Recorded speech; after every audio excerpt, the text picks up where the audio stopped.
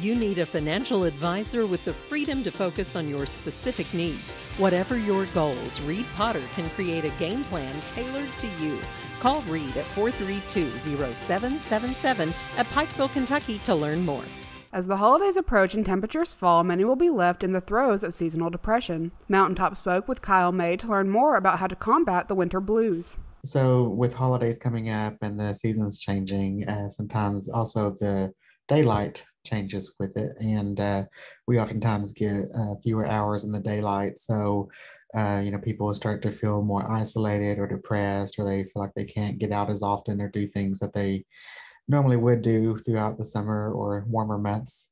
Um, and so, for some people, they uh, are able to, um, you know, engage in hobbies that they enjoy, spend time with friends or family and uh, other social activities. Older individuals who experience seasonal depression also have options on how to relieve their symptoms. I think um, for people who are older, um, being able to rely on their support systems, um, whoever that may be, their partners, their maybe if they have children or friends, other family members.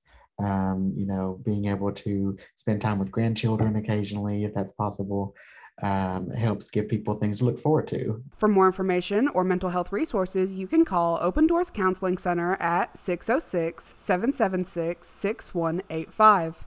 For Mountaintop News, I'm Kelsey Dean.